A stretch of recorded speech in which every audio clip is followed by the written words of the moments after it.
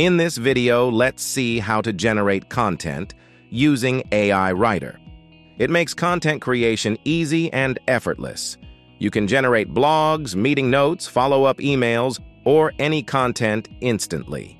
To create a new report, click on the Add New Report button and provide a prompt to create any content using AI. Let's try generating a few titles for this YouTube video.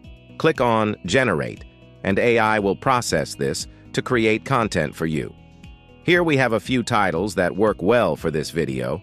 Let's also generate a description for this YouTube video. Again, I'll go to Add New Report, provide a prompt to create a report, and my description is done in seconds. So, that's all for this video.